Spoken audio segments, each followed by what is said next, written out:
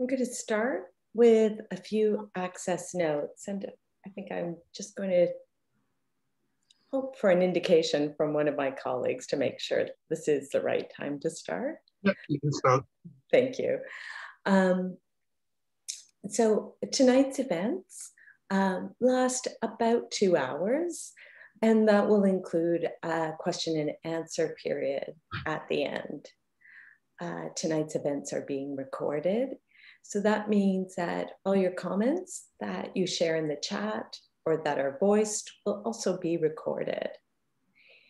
If you require captioning for tonight's events, uh, there is a CC icon, icon or a closed captioning icon in the Zoom menu. All you need to do is activate that icon in order to see the captions. We have ASL interpreters tonight, BL and Mel. And uh, if you're having trouble seeing them, please turn your screen view to gallery view. You can find that in the top right-hand corner. Um, before we turn to the questions and answers, one of my colleagues will probably later on in the evening will probably tell you how to uh, navigate that part of the Zoom room.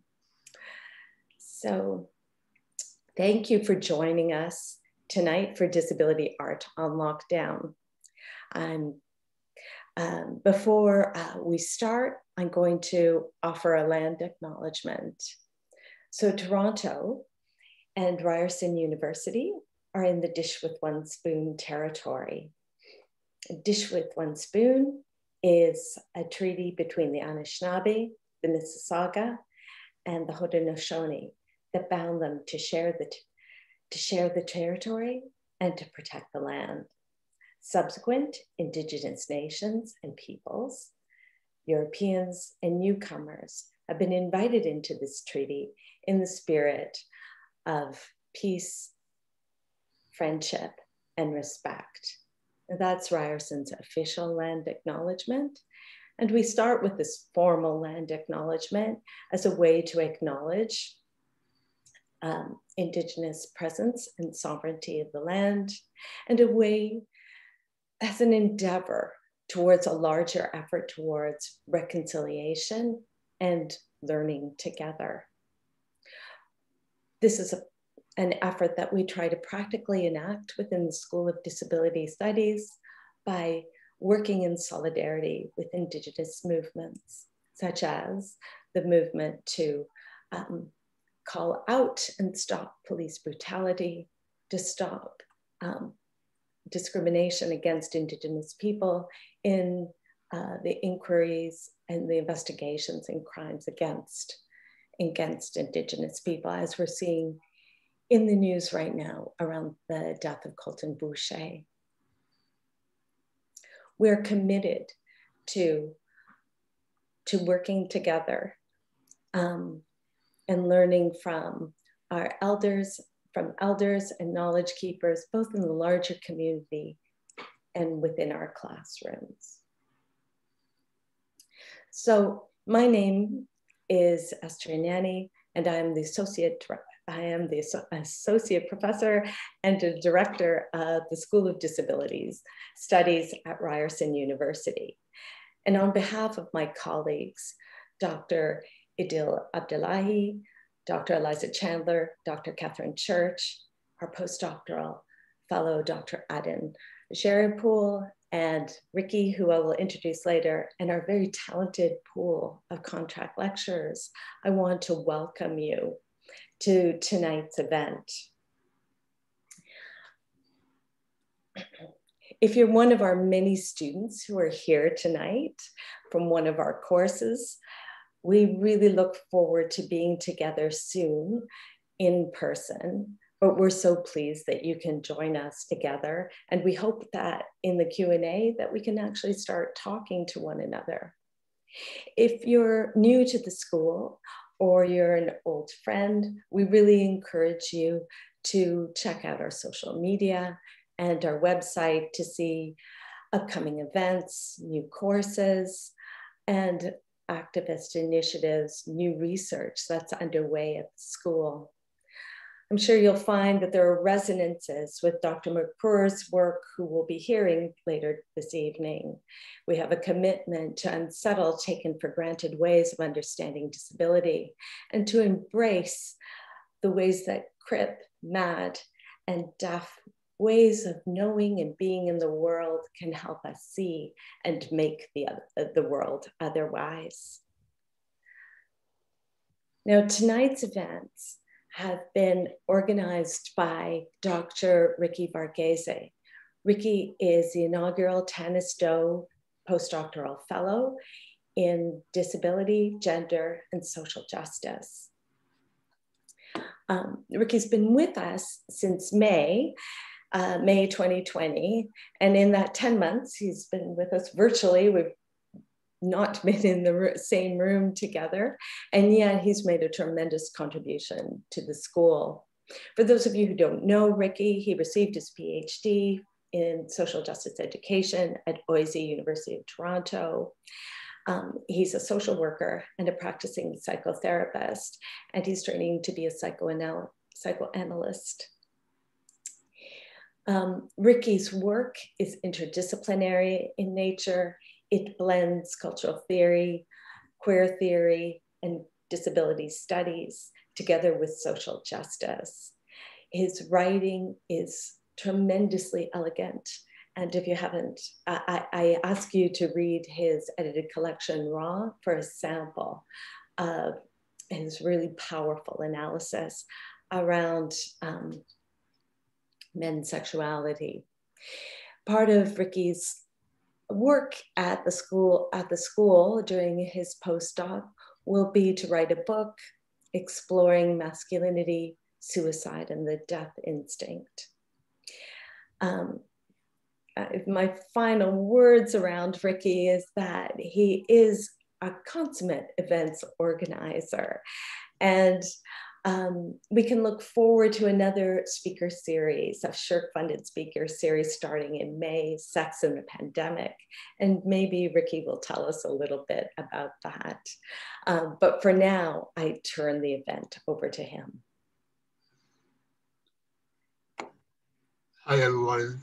Um, and, and the, for that uh, generous uh, introduction. Um, I'm really happy to see so many people have signed in for our event tonight.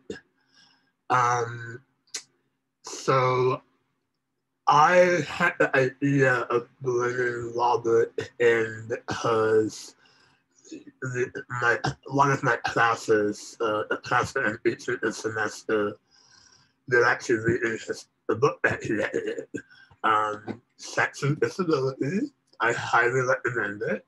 My students love it. And so I thought, you know, why not bring Robert in and, and have him, you know, in a, in a lecture at Ryerson and, and see what he's working on right now. Uh, so that's sort of the impetus behind this. Um, as Esther mentioned, I'm also organizing another speaker series uh, called Sex and Pandemic. That's coming up in a few months, and more information about that will come out um, in time, and I'll actually provide everyone with the website for the event in the chat shortly. So I want to start by introducing Robert, um, who is someone I have actually known for a very, very long time. Um, quite, quite almost 50 years. So it's amazing to have him here with us virtually. Um, and Robert McRuer's work as writer and speaker uh, uh, is situated uh, at the intersection of queer theory, disability studies, and transnational cultural studies. He is professor of English at George Washington University in Washington, D.C. that he teaches a range of classes, including Introduction to Critical Theory, Disability Studies, Transnational Queer Film Studies, Queer of power, Clip of power, Critique. Crip Times, Disability Mobilization and Resistance, a book that was published by NYU in 2018, is his most recent publication. Crip Times focuses on disability art and activism in the UK and elsewhere, examining the ways in which disability is an underutilized component of the global austerity politics. McRuer is also the author of the field shifting in award-winning volume Crip Theory, Cultural Signs of Queerness and Disability, also published by NYU in 2006, as well as numerous other books and articles. A Spanish edition of Crip Theory will be out on June 1st of this year. With Anna Mollow, she is co-editor of Sex and Disability, the book that I just mentioned, and with David Bolt, the general co-editor of the six-volume series, a cultural history of disability uh, published by Bloomsbury last year, which includes volumes from antiquity in the modern age. So how it usually is going to proceed is that uh, Robert is going to do his lecture, and after that, they're going to have some respondents um, responding to his paper, and then at the very end, we have about half an hour to have question and answers and discussions with the audience. So, Robert, uh, the virtual floor is yours. Thank you so much, Ricky. I'm going to share my screen and then say hello to you all. Okay, share screen. Um, okay. I don't think that it's showing, is it? Yeah. There we go, I think. Good. All right, thank you so much, Ricky and everyone. Uh, one more thing, I am going to turn off my own closed captions. Oops. Okay. Thank you, Ricky. Thank you, Esther. Uh, thank you, Tally, and everyone who has worked to make this an incredibly um, accessible event here at Ryerson. I'm really happy to be back at Ryerson. I gave a talk in your unexpected lecture series. So I was giving a talk, I think, at York, and Ryerson had me come in 2009. So it's been a long time since I have been at Ryerson. I'm happy to be with you all virtually. It's uh, roughly 13 year, uh, 13 months since I've been in Canada, which I miss a lot. I grew up outside of Detroit and try to see friends in Windsor when I am there, but of course that border has been closed. So I hope we'll all be able to be in person at some time soon. I want to give a brief description of myself for, for access. I am a white man in my mid 50s. I have short salt and pepper hair and a lockdown beard.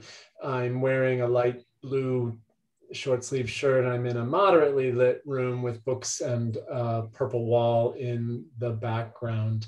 Uh, I use he, him, his pronouns. And I am not in Toronto, as I just mentioned. I am in Washington, D.C., which is the ancestral land of the Piscataway and Anacostan peoples, uh, unceded ancestral land that we are on here in Washington, D.C. So I am going to begin, and I have, I think, about 40 minutes of material to show you.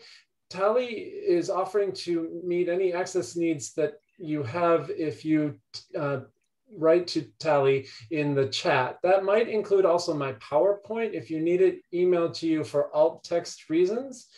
the pictures that I will be showing, I will try to describe, but if it's easier for anyone to actually have a copy of the PowerPoint, there are alt text descriptions of all of the images. And I think that someone can send that to you if it is an access need. So without further ado, I'm going to dive into disability art on lockdown, uh, which is my title slide that is shown here. The image that is on the title slide, I'm going to be talking about a little bit later in the lecture. On May 12th, 2020, The Guardian reported on the authoritarian populist president of Brazil's disdain for artists who had died of COVID-19. The screen here shows some of those images of COVID-19 deaths, five elderly white men and one uh, African-American woman or African Brazilian woman.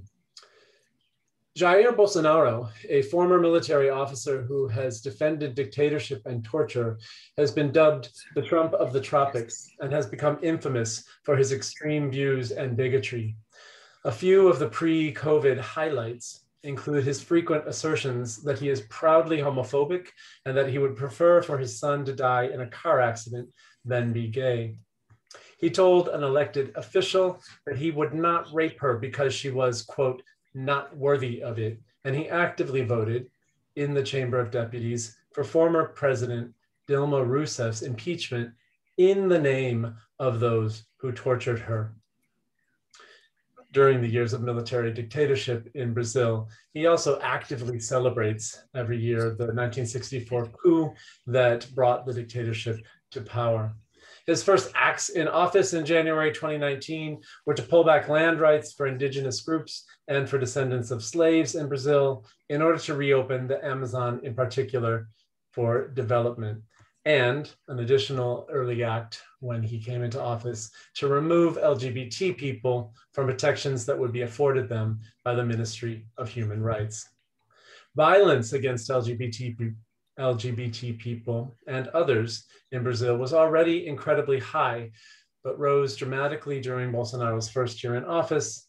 At the end of the year before COVID 19, Sao Paulo alone was in fact registering, registering 16 hate crimes against minority groups a day.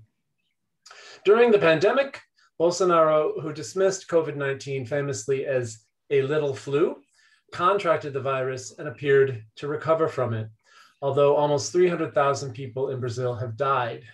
Um, that's uh, as of yesterday. Um, the tragedy in Brazil is second only to the tragedy in the United States, and it actually seems possible that Brazil will pass the US eventually in cases and deaths, especially considering that many poor and indigenous deaths have gone uncounted. When I say that Bolsonaro appeared to recover, it's actually probably too soft. One could say that both with his illness and former injuries that he sustained after he was stabbed during the general election, he has actively constructed an overcoming narrative that, as overcoming narratives are, are wont to do, made others look weak in comparison. It's thus not surprising that Bolsonaro did nothing to recognize the Brazilian artists who died due to complications from COVID 19, including on the screen for you well known musicians, actors, and writers. One of the writers who died early in the pandemic was Rubem Fonseca. Fonseca's daughter, Bia Correa do Lago, also a writer, said Bolsonaro's indifference to the death of artists was not surprising, given that when he was asked about his favorite authors, Bolsonaro cited only a dictatorship era torturer, Carlos Alberto Brilhante Ustra.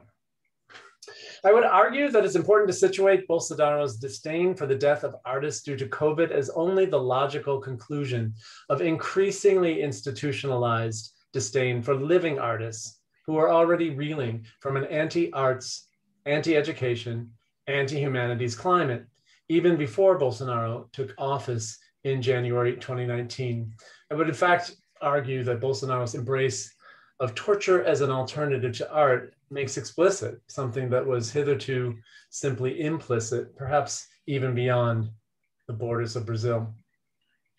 Although Bolsonaro's predecessor, Michel Temer, following protests, restored the Ministry of Culture that he had cut upon assuming office, Bolsonaro in 2019 simply cut the Ministry of Culture again.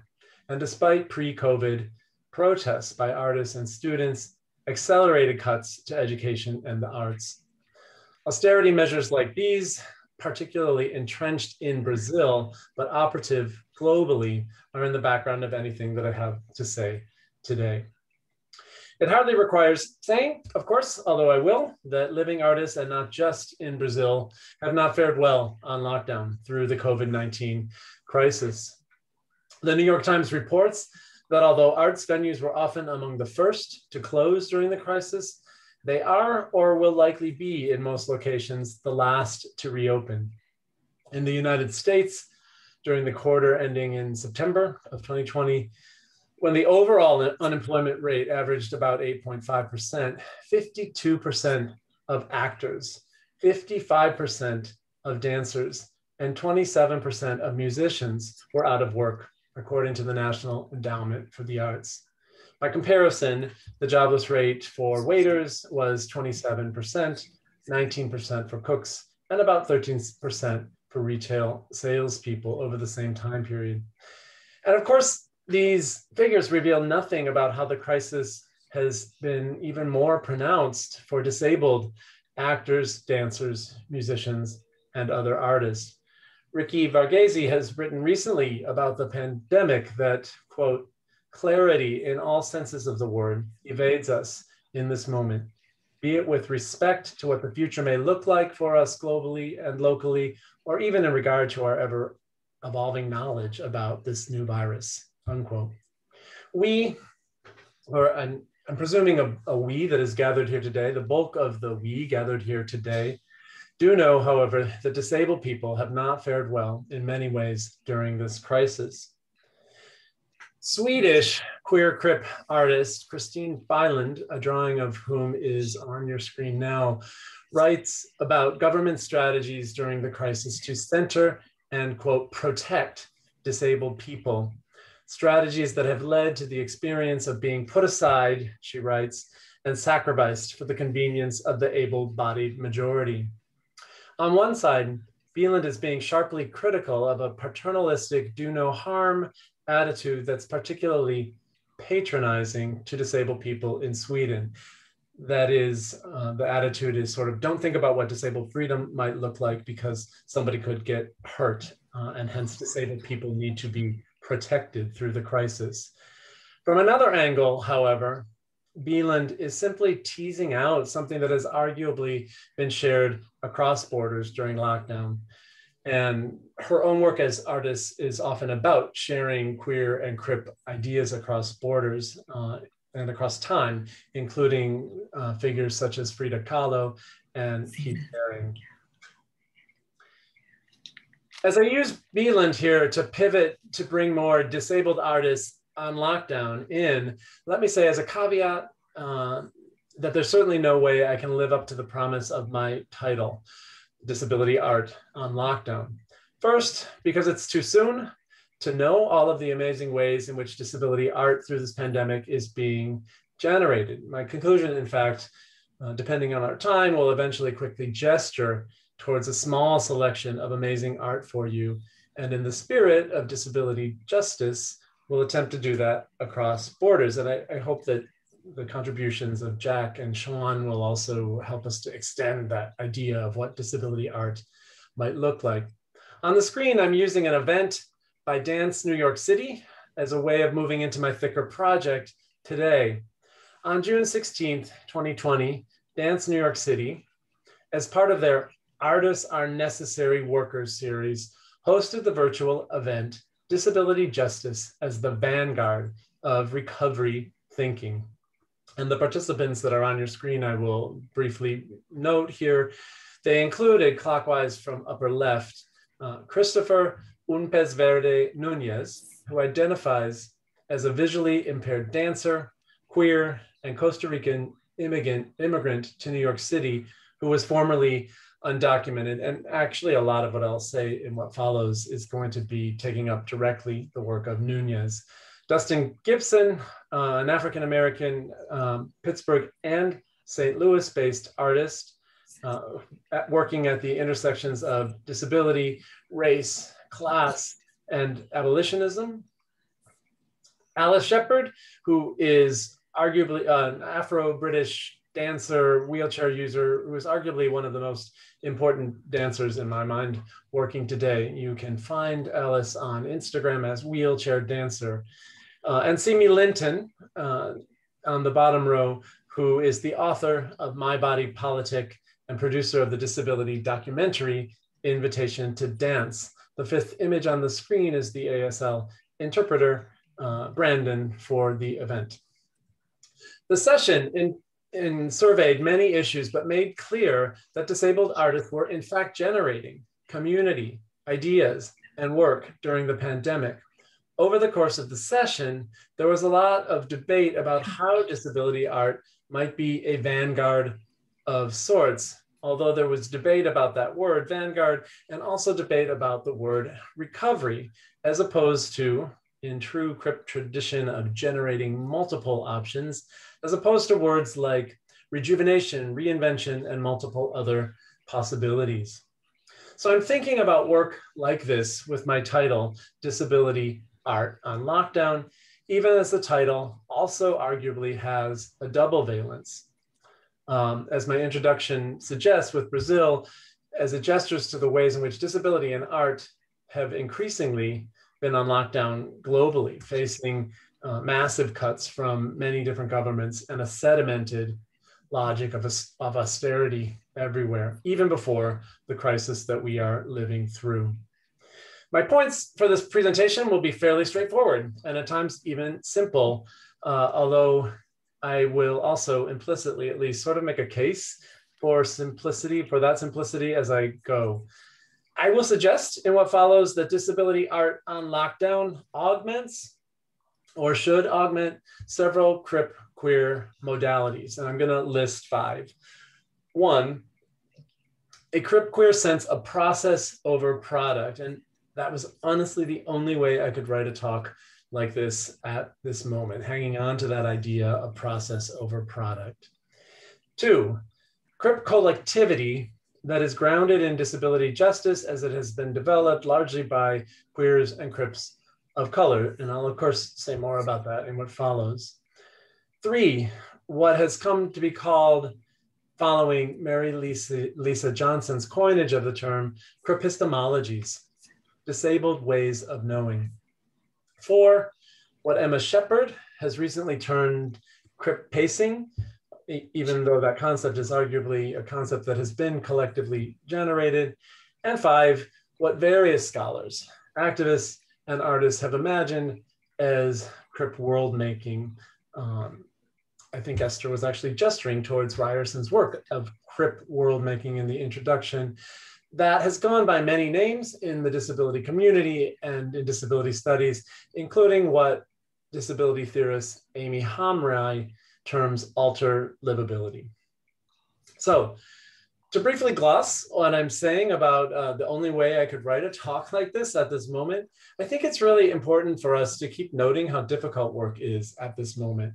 To resist celebrations of a pending normalcy that would simply return us to the quotidian violences of capitalism and to make, and I, I think it's important for us to make these points as disability or CRIP insights. So just this week, the Toronto Star has published data suggesting that 38% of, of Canadians report that their mental health has worsened since lockdown, with that number jumping to 45 for LGBT people and 43% for low income households. A full half of Canadians are experiencing ongoing anxiety, and 23%, that actually seems low to me, depression. So uh, I just want to keep that in mind as we think about what it means to work in this moment. To provide a bit more background for my talk, I'm going to give you a mini snapshot of where my own Queer work has been of late. My work on disability and art, both in my most recent book, which I'll put on the screen here, uh, and in one of the ones that is germinating now, has been pivoting towards disability justice in Latin America. So my recent book here, pictured with the sculptures of artist Liz Crow, my recent book has read, as Ricky suggested, the last decade of global emergency as what I have termed crip times. My argument has been that in our moment, disability is a central but under theorized component of a global austerity politics. At this point, um, and really from fairly early in the pandemic, you'll see something almost every week in the press suggesting that austerity is done. I'm putting an example of such an article before you with Boris Johnson saying that he will not return to austerity. So you'll see this quite regularly in multiple locations. But I would argue that this crisis is showing us nothing if not how deeply entrenched austerity already was, with millions of people in the US over the past year losing healthcare because of the crisis because healthcare is tied so often to employment, with disabled children and seniors doing online fundraisers for the National Health Service in the UK because of how the NHS has embraced business models and on and on. And I'll just give you an example of that. This uh, slide pictures Thomas Moore, who died in January at the age of 100 from complications due to COVID. And he raised 33 million pounds for the NHS for charity by walking in his garden. So I'm, I'm putting this forward as an example of how austerity is so deeply sedimented that you have seniors uh, doing fundraisers to save the NHS. There has been some sense that author authoritarian populists like Bolsonaro and former US President Donald Trump are or were more and more rejecting austerity. austerity. And that would seem to be represented by Trump's exit strategy of calling for a $2,000 stimulus, uh, or Bolsonaro's, in Portuguese, ajuda, help, providing for a time checks for poor Brazilians. My own sense, as someone writing about um, austerity for more than a decade, is that it's generally a smokescreen, these statements that, oh, austerity is going away for ongoing austerity. For neoliberalism continued in an authoritarian vein that throws a few crumbs to the to many while continuing to redistrib- redistribute wealth upwards and in fact to militarize protection of that upward distribution of wealth. Crip times the phrase um, however like disability art on lockdown is also a multivalent phrase absolutely pointing towards hard times bleak times, precarity, and suffering, but also towards vibrant cultural production and activist and artistic resistance that has emerged across borders, out of or in excess of a logic of austerity and towards generative, collective forms of disabled thought. So I'm going to give you a quick reading of Nunez's pre-pandemic work, followed by his reinvention of that work over the past year. I'll survey his and others' theorizing during the pandemic to illustrate crip process, collectivity, cripistemologies, and crip pacing. Depending on how we're doing on time, I'll end with gestures towards Bylund and a few other artists and collectives on lockdown to think really quickly, actually, about alter livability and crip world making. Nunez's process as an artist, and the, I will describe the performance that's on the screen right now momentarily. His process as an artist entailed literally crossing borders and arriving in New York and discovering disability community. I had actually seen some of his work in 2010 in Costa Rica, and I, I knew personally that he was visually impaired, but it was only in and through contact with the disability arts community that Nunez came out as disabled, an example, a beautiful example, really, perhaps of what I argued in CRIP theory, that it takes at least two people to make a crip or a disabled person. As a disabled, as a queer man, he had experienced violence in the past and saw his immigration to New York as a way of coming home to multiple facets of himself. Indeed, in an extensive video interview that I'll put before you here, made for Immigrant Heritage Week in New York City. He explains, This is home, New York, after a lawyer informed him that his request for asylum had been denied and that it might be time to think about going home, by which the lawyer meant Costa Rica. The incident for me recalls um, an ironic anecdote from queer disabled Chicana feminist Gloria Anzaldúa, who writes of meeting with lesbian students to discuss their fears. One of the students said, Anzaldúa, Anzaldúa recounts, I thought homophobia meant fear of going home.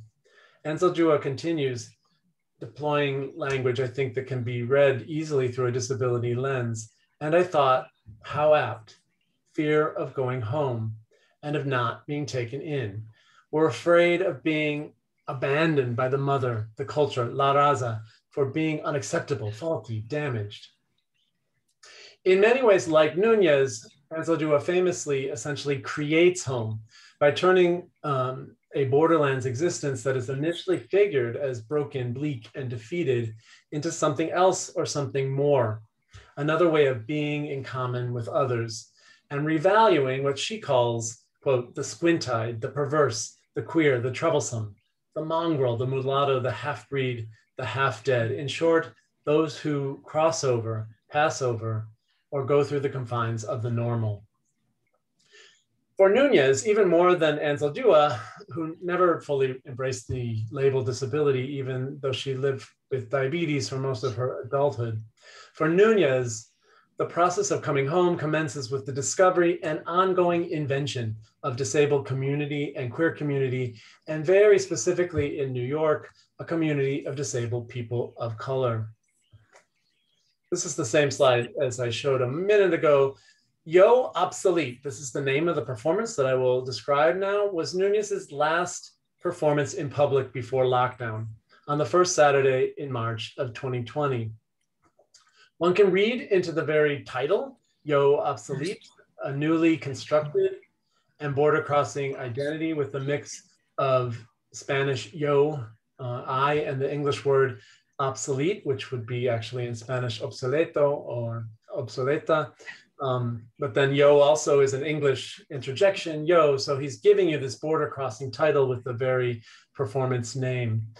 Nunez here wears a pink hoodie painted with pop art, including Andy Warhol's bananas and red long johns, similar to underwear that has, had been worn by his violent Mormon father, a style of underwear that has become, Nunez notes, something of a sexual fetish object in the queer community. Nunez's performance have increasingly become, and here's this first point, process over product. Uh, and I think this is very appropriate for how uh, Ryerson has worked to make this an accessible event. His performances have increasingly become access experiments, positioning access as community and collective labor, but also as what the disability justice movement understands as collective joy and love. Yo Obsolete opens with the establishment of a tactile but ever shifting border to the performance space, but also includes voiceover narration as the performance continues. Nunez often enlists the audience for the act of visual description for others, which can of course be quite unpredictable, but of course also generatively varied. In this performance shot, Nunez holds the toy truck by strings and spins, saying aloud, stop, daddy, stop, daddy.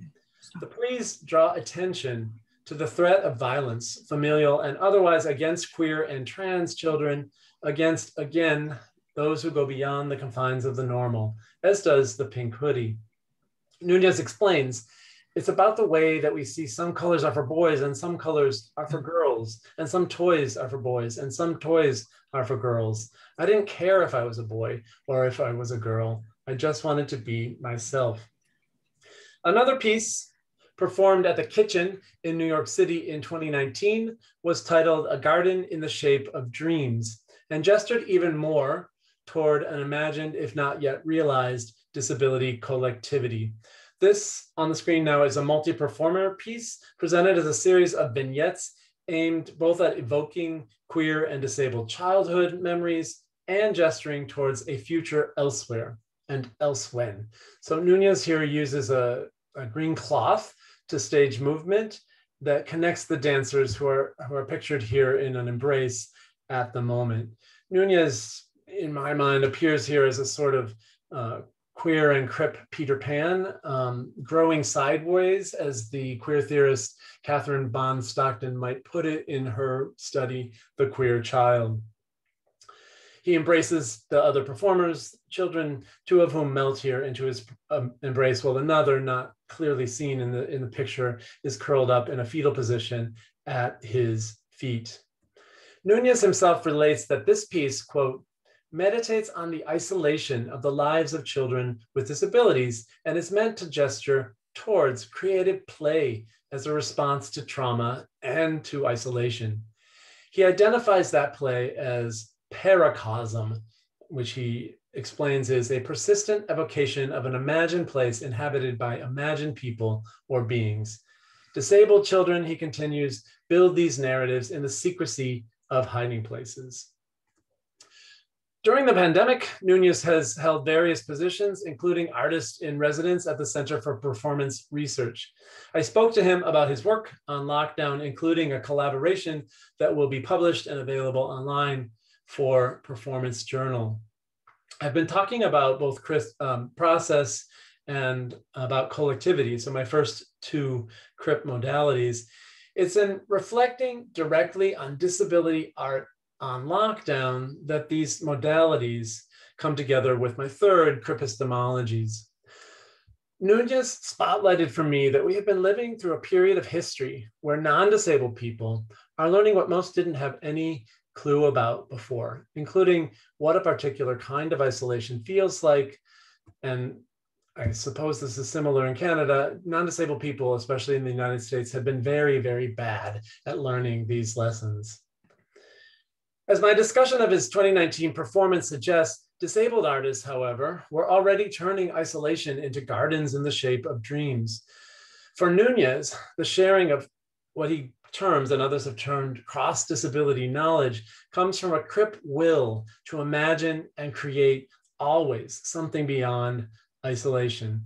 And what I love most about talking to Nunez about disability art on lockdown, however, was a epistemological, and I would call it queer, will to bite the hand that feeds in order to feed more people in the process, both looking backward to where we have been and forward to where we might go. Let me give you an example of what I mean by biting the hand that feeds. I've long looked back to ACT UP as one quintessential moment in queer biting of the hand that feeds since the art collective for the AIDS activist group, Gran Fury, as they began to recognize, uh, to receive recognition directly from the art world, put out a simple image that you see here in, in white block letters on black with 42,000 dead, art is not enough. Take collective action to end the AIDS crisis. The collective was, put differently, literally generating art, saying the collective we that we must become need more than art, or at least we need more than art, more than the domesticated forms of art, often visible through museums, exhibitions, and grants. For Nunez, biting the hand that feeds has meant resisting in the collective interests of queers and of disabled people of color in particular that focus again on product. And I, and I actually found what I'm about to deal detail so sustaining, even personally, since a lecture like this obviously is a product and Nunez's insights helped me to let go of that to a certain extent and focus more on the reasons for doing lectures like this, which are queer and crip community, rather than obsessing, as I am want to do, as readers of Sex and Disability know, uh, as I want to do over what that final product might look like. Generally, Nunez said, funding for dancers comes with the expectation that the final product, the final result is a performance product. And he himself received his current assignment with that expectation. On lockdown, however, Nunez decided quite quickly that he didn't care about a product and that he was more interested in collecting and curating stories and experiences of those queer and disabled people who don't usually get funded. So he repeatedly turned towards that concept of disability justice to convey the evolution of his thinking. Disability justice, as I'm sure many listening know, is a concept developed in the uh, uh, developed by disabled and queer, Black, Indigenous people of color. The thinkers and artists involved in the movement include Patty Berne, whose, whose name is associated with the draft of the Principles of Disability Justice, Leroy Moore, and others, largely members of, on the screen now, the performance troupe Sins Invalid. Um, the performers on the screen right now are Nev Bianco and Antoine Hunter. Hunter. Disability justice insists on an intersectional approach that resists the mandates of neoliberal capitalism and that imagines queer crip people of color as leaders and authors of both the disability movement and disability culture. It has also attempted to think about a movement across borders, although arguably that has largely been the US and Canada. I'm quite interested for that reason in thinking about disability justice as a framework for approaching the vibrant work that's happening in Latin America. Hence, I'm thinking about the border crossing work today of Nunez. Nunez's contribution to disability justice while on residency and working for performance journals has been to look both backward and forward. So backward, he reflects on various temporalities that are actually often actively invisibilized. I was working 20 hours a day, he tells me, just to pay the rent when I was undocumented. Many others were doing the same without books, without films, without workshops, without grants. That knowledge and motion has value, Nunez insists, and that knowledge is often increasingly, uh, is often completely erased, even in disability community. Indeed, what I really love about Nunez looking backward to a 20 hour a day work day is how it requires us to expand or make multivalent our notions of crip time. Crip time has often been theorized almost exclusively, in fact, in relation to slowness. And I think um, that's really important. Something will happen later on a different timeline. One might not be able to be there in a certain place because of illness or fatigue. I don't want to discount any of that. And in fact, Nunez values that slowness, as I'll note momentarily. But his cripistemological insight, however, is also to link crip time, especially for many disabled people of color and immigrants in a service economy, to the compulsory speed of capitalism and to a different type of exhaustion. He and many others worked those 20 hour days for survival, sometimes actively compounding disabilities and living lives not always legible as disabled reflecting back on that experience, he found himself wanting to value the disability knowledge that comes from that survival. And this comes for him with a very concrete commitment to changing the processes of funding, moving away from an emphasis on product to a focus on emotional experiences and experiential knowledge, slow and fast, that he feels has been, in his words, dismissed by white supremacy including the white supremacy that disability justice has traced within the disability movement. There's a certain austerity logic built into the process of acquiring funding for art that invariably favors white people. Only the few will receive funding, the few who have the time, space, slowness to pursue individual grants, proposals, workshops, and so forth gathering other stories, curating other stories for Nunez entails looking forward now, thinking beyond that austere logic. Nunez's play with, with and within a range of motions and his valuing of an expansive understanding of disabled temporalities suggests for me another crip mode, my fourth mode, crip pacing, that has been legible in his work and others on lockdown. Architects of a disability justice movement, such as Leah Lakshmi Pipsna Samarazinya, have theorized access as a form of, quote, collective joy, collective joy and offering we can give to each other, unquote. I've already noted that Nunez's performance are often access experiments. They actively recruit participants for collective joy. Emma Sheppard is one writer who has actively named the attention to varied temporalities and motions, crip pacing. And it, it's a good descriptor of Nunez's work on lockdown because as Sheppard describes it, crip pacing is not about the capitalist compulsion to optimize production, but is rather a form of politicized self-care designed to, quote, optimize joy. Sheppard's own theorization of crip pacing, incidentally, is also delightfully queer as her work entails considering how disabled people in pain might navigate BDSM collectively to maximize pleasure and joy. And BDSM, we might note, actively mixes, but quite consciously, sometimes fast, sometimes slow, temporalities. For Nunez, the resistance of an able-bodied pacing that would mandate a quick motion from grant application to performance development to final product, what we might ironically call Fitbit pacing or something like that, is crip pacing in its will to generate collective joy, to encompass more experiences and stories into what we understand as disability art. Crip pacing leads me to a final modality, my fifth, crip world making. And I'll only have time to note a few artists beyond Nunez in conclusion. So queer world making is the more famous mode, was first theorized by Michael Warner and Lauren Berlant and has since been widely used to describe queer practices that are, quote, creative, performative, intimate, public, disruptive, utopian, and more.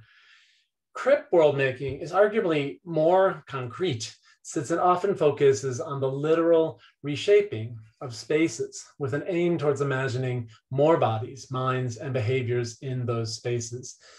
Disability theorist Aimi Hamraie uh, puts forward a concept of alter livability that helps to concretize crip world making.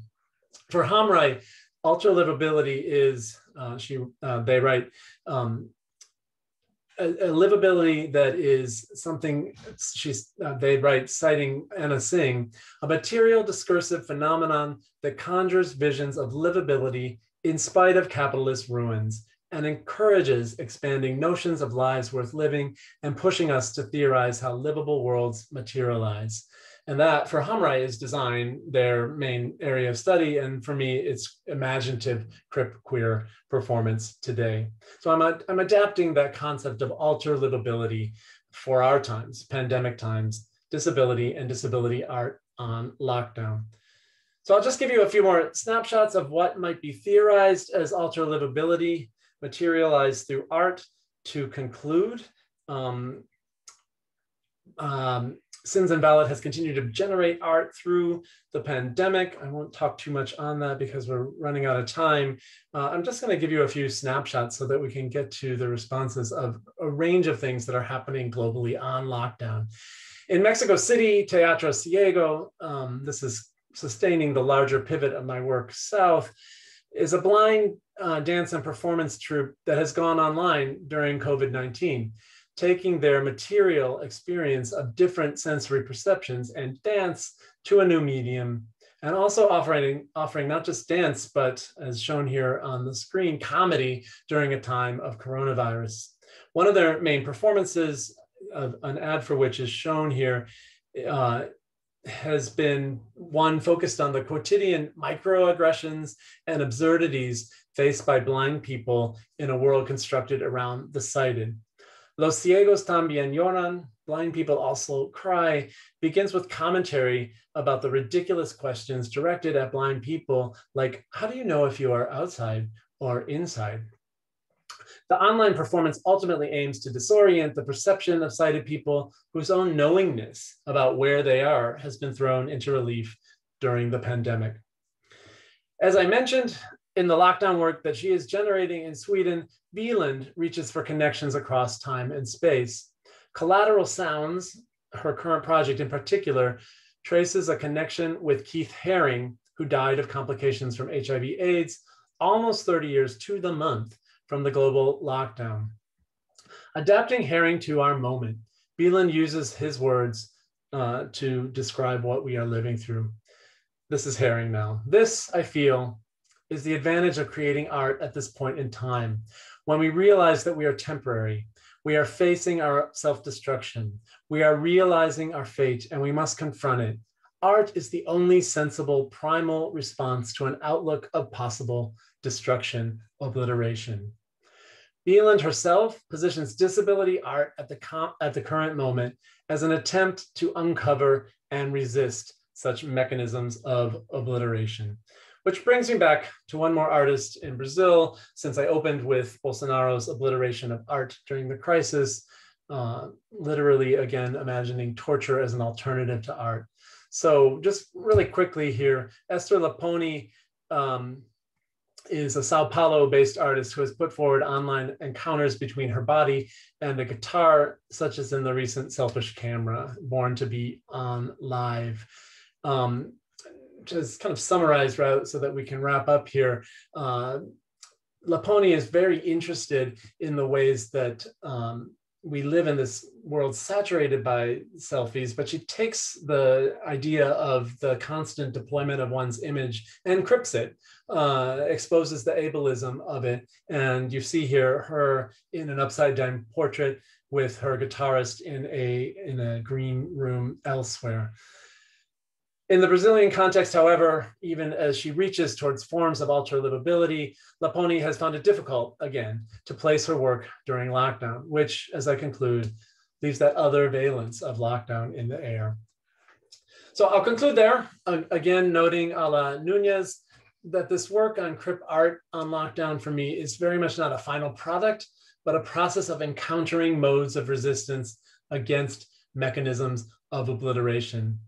These are just a few of the examples of many more artists offering in this moment of emergency other ways of perceiving and knowing collectivity, cripistemologies, crip pacing, and crip world making. These are essential workers, deeply engaged in disability justice and in imagining and inventing the world that might come next. Thanks.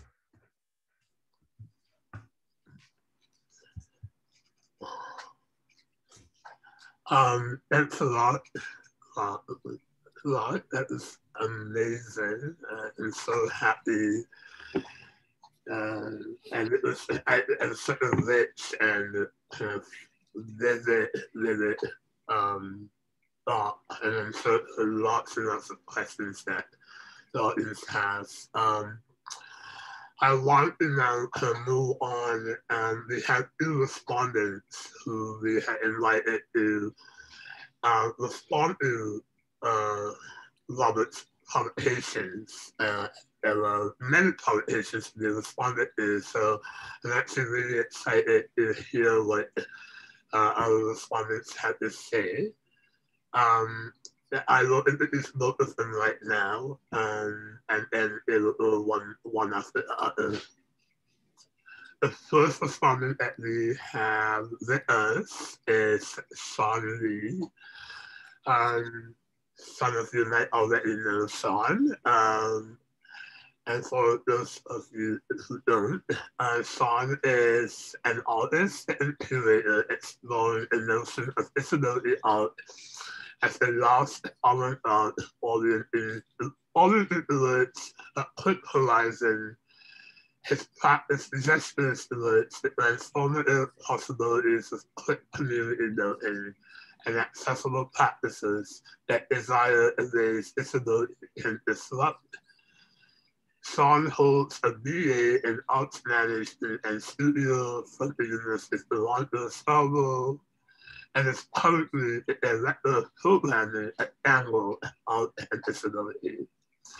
He also is a member of the Ontario Art, Art Council's Deaf and Disability Advisory Group and the London Art Council's Visual Arts Media Arts Committee. Our second respondent, also someone many of you might know, is Jacques Jack, uh, who goes by he, him, is an autistic, white passing, reconnecting indigenous person who resides in Toronto and works in an outreach role with Tangled Arts and Disability. Since moving to Canada in 2013, he has focused his passions on community youth work art services, performance, and personal practice in visual art and astrology. He has worked and or performed with organizations such as Urban Arts Theatre, Hout House, Ryerson University, British Council, and the Art Gallery of Ontario. So I will leave the floor to Sean first and then Jack. Thank you so much. Um, so I'm just going to also share my screen. so this is Disability on Lockdown, a response. Um, and as Ricky mentioned, um, my name is Sean. I use he or they pronouns. I'm an East Asian queer person and I'm someone who's visibly disabled. Uh, my back curves, my shoulders are uneven, and if you met me in real life, I'd be quite short of stature. Um, I have black hair. It's um, it used to be a very cropped haircut, and now it's gone down to my shoulders. I have uh, kind of light skin. Um, I'm wearing these steampunk glasses. They're green uh, with gold rims that float on the frame. I'm wearing a black kind of turtleneck um, I'm sitting cross-legged on a wooden dining chair uh, in, in my dining room. And in the background, um, I've got some art pieces. They're sort of like abstract um, art pieces by uh, disability artists. Um, and otherwise, it's a fairly nondescript dining room. Uh, I want to begin by thank you by by thanking uh, Robert McRuer for this opportunity to respond um, to that powerful keynote and the organizers at Ryerson, again, particularly Ricky, um, for this invitation. So while I recognize many of the folks here today, um, we've been chatting uh, in the chat box. Um, for those who might not um, already uh, be familiar with me, uh, I'd like to introduce myself and my practice. Uh, I'm a disability artist and curator, and I'm also the director of programming at Tangled Art and Disability. Um, Tangled operates Canada's first disability art gallery dedicated to exhibiting uh, mad, deaf, and disabled artists, as well as exploring crip curation and accessible practices. Although our gallery space is currently closed because of the pandemic, we I wanted to tell talk a little bit about uh, how it is uh, that we've quote unquote pivoted. Um, because we actually really initially resisted the instinct to simply pivot online with all of our exhibitions. In part because we wanted to recognize that we are in a pandemic, and as an organization made fully out of uh, disabled cultural workers, we wanted to make space to recognize this current situation that we're in. But we've since begun to uh, assemble and bring artists together again for things like online exhibitions, podcasts, and even working on a publication with the British Council called El Alto, a survey of disability arts practices across the Americas. For my piece on the panel, I wanted to focus on the world building potential of disability art and expand on the assertion that Robert makes that disability art on lockdown augments various world building practices whereas Aimi Hamraie terms alter livability. In particular, I want to explore some of the accessible curatorial practices that attend to crip technoscience and curation, or what uh, Hamraie and Kelly Fritsch names uh, as historic contempor and contemporary practices of anti-assimilationist disability making and knowing. When disability artists and curators take on the mantle of crip technoscience as a cultural practice to critique, alter, and the reinvention of our material discursive world through art, I think it becomes a political project that, as uh, my mentor Eliza Chandler notes, is motivated through the intention of allowing disability to shape culture, rather than using access as a way to include disabled people into normative practices. So I want to reflect on the protocol I took when I first introduced myself. Um, you know, it, it included a self-description. And in this description, I intentionally named my disability as very much a political action. Since the pandemic began, many disabled people have provided similar self-descriptions when coming together on Zoom or other digital platforms and I think we do this as a way of mitigating the normative assumptions of who is present and participating in these spaces.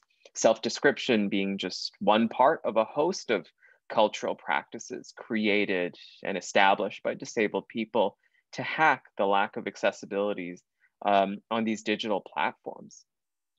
And it plays a distinct role in establishing new ways of configuring the social world we live in, one that desires disability differently. Practices like the self description have helped me personally understand disability as something we participate in together. That in order to resist the narratives that disability is located solely within our bodies, we hold space for one another's body minds. And even though I might not require this particular access need, it's nevertheless a vital practice that makes one more stride towards what could be a crip utopia on the horizon. I once heard Eliza Chandler note that she was someone who embodied her disability with a mixture of pride and shame, and it resonated deeply with me. I've always embodied my visibly disabled, racialized, and queer self with a mixture of pride and shame. Perhaps this is why I pursued an art career in the first place, as someone whose embodiment was a hyper visible gesture towards nonconformity. It often felt like I didn't have any other place to belong. And so I turned towards the arts as a way to explore the socio-political narratives of my life. But through disability arts and curatorial practices, I've come to further complicate this desire to dwell with disability, a, a, desire that Eliza notes, which is antagonistic to the normative, capitalist, neoliberal desire to cure or kill disability. As Roberts so deftly highlighted, in the US and Brazil, austerity measures have made more precarious than ever the experiences of disabled people and particularly disabled artists. But here on the north part of Turtle Island or Canada, I think to dwell with disability as an artist is equally precarious. We're not exempt from systemic trenches, and recent developments have made no attempts to hide the blatant ways disabled lives are undervalued. Since the pandemic, eugenic triage protocols and medical assistance in dying have insidiously targeted disabled people through those same neoliberal valences of neoliberal capitalism despite people with disabilities across Canada coming together for a tremendous show of solidarity through enactments like the Disability Filibuster, a three day online filibuster filled with disabled people and artists protesting from our homes, a crip way of protesting, particularly suited for lockdown, I might add, um, and other activist work that was happening. The recent passage of Bill C 7 foregrounds the way disability is still only largely storied as a deficit in our mainstream. Bill C7, for those of you who don't know, is a bill that would amend the vulnerable persons standard attached to Bill C14, Canada's medical assistance in dying legislation, uh, making it easier for disabled, mad, and deaf people, or um, our substitute decision makers, really, to access medically assisted death but the conversation has largely not gained traction in mainstream spaces. Indeed, even mainstream coverage of Bill C7 was largely minimal. As disability artist Alex Bulmer says, Canada does not support quality of life for disabled people, yet it continues to support some notion of quality of dying. No country should focus on death until they have focused on life. Canada needs to put this energy towards quality of living. Otherwise, death will become the only alternative to a life unsupported, disregarded, and ultimately extinguished. And Alex says, May I propose SAIL, supported assistance in living, which I think is a really poss- really interesting gesture towards another way of understanding and desiring disability. So, as Robert said, we're really in crip times. But as much as the phrase can present the hard times, bleak times, precarity, and suffering, its position as a multivalent phrase excites me because it also gestures towards crip utopia, or what I might name the crip horizon.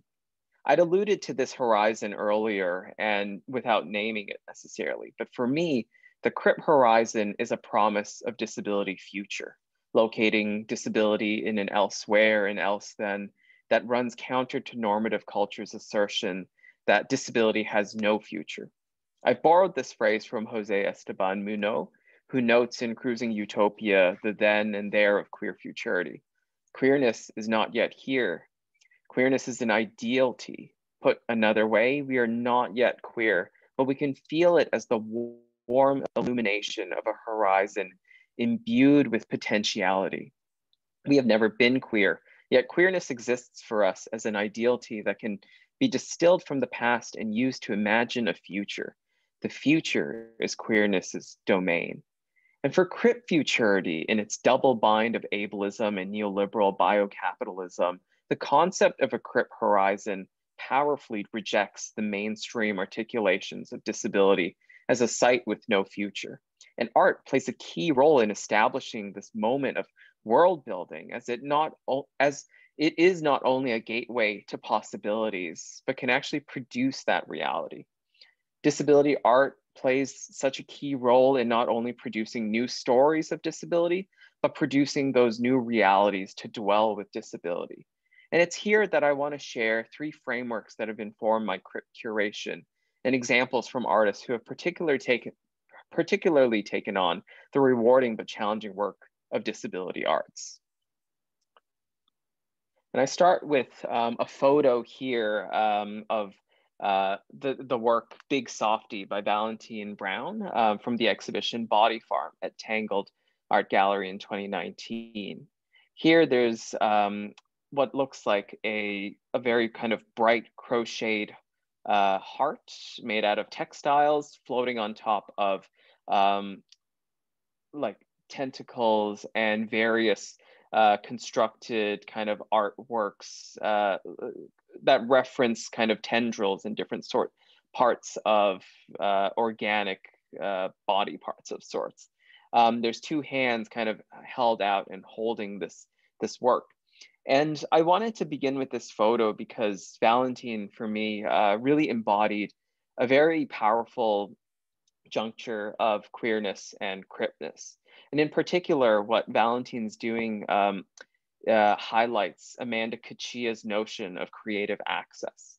Uh, here, creative access allows us to uh, use accessibility with intention, not only as kind of a means to an end, as another alternative entry point into work, but as really a cultural aesthetic.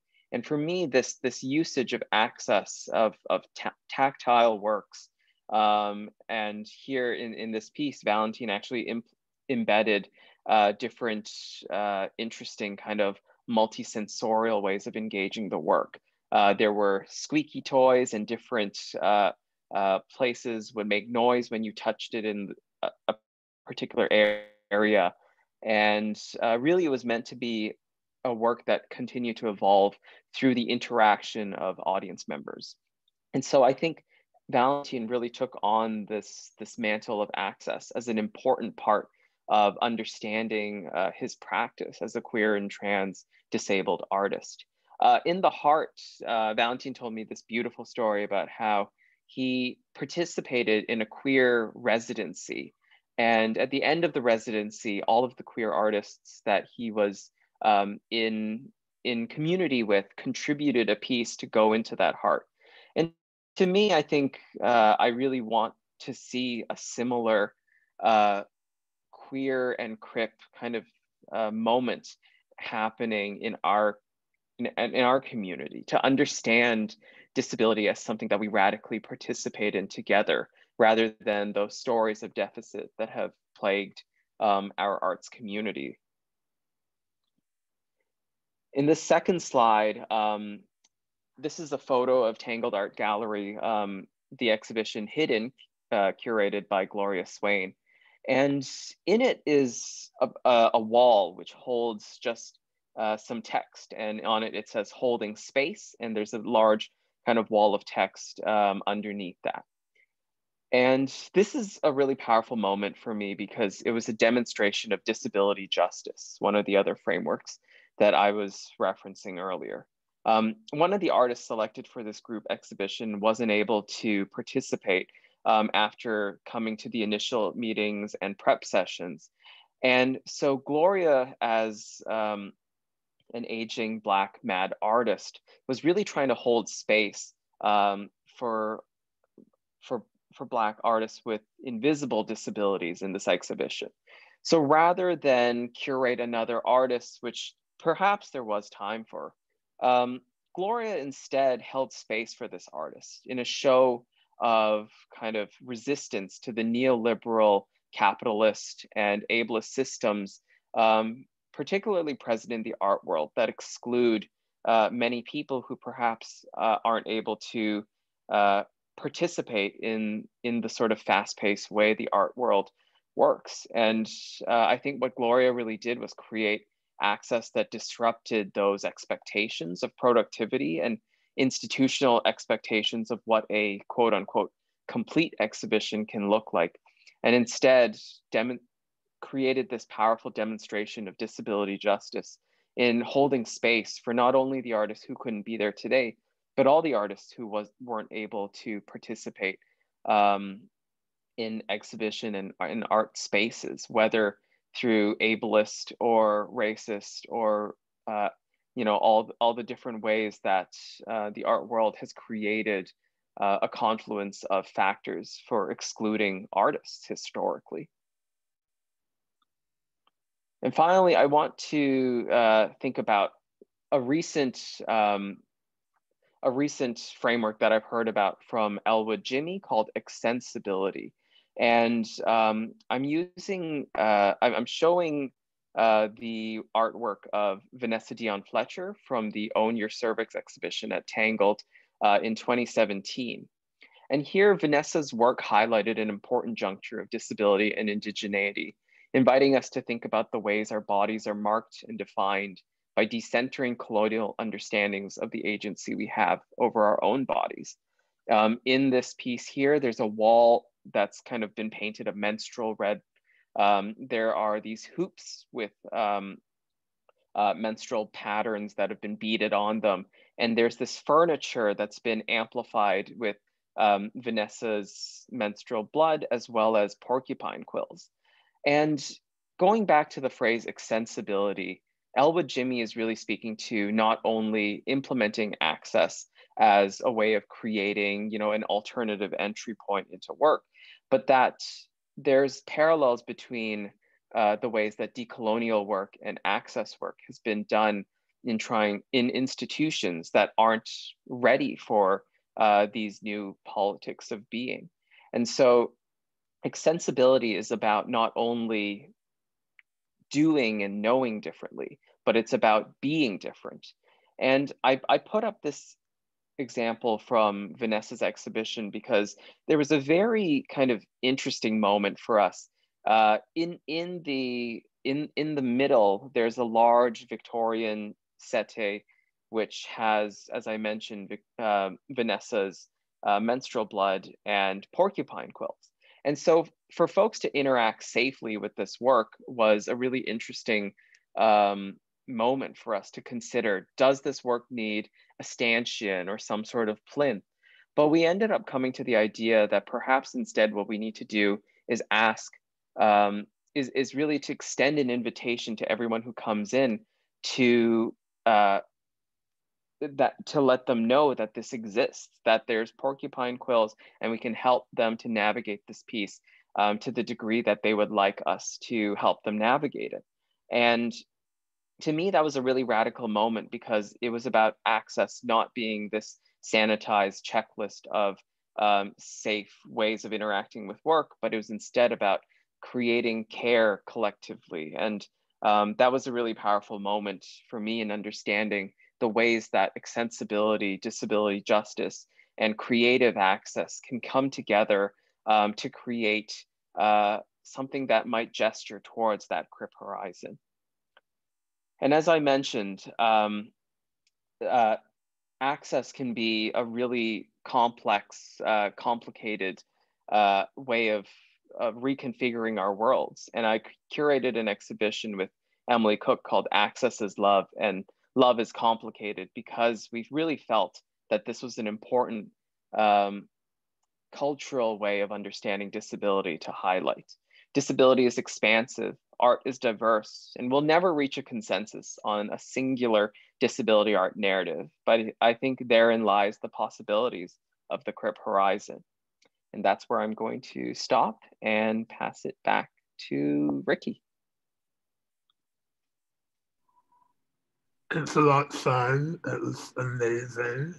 Um, and now I'm going to pass it over to Jack, our second respondent.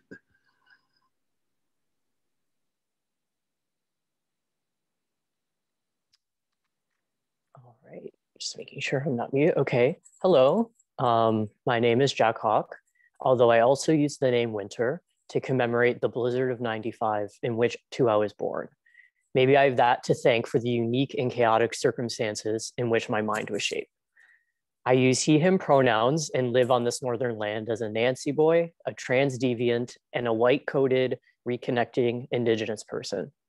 I have black emo hair that is aged like a fine wine, side swept in medium length with a blonde highlight in the bangs. I'm wearing black thick rim glasses, a black high neck sweater, and a dark blue crystal necklace with white headphones.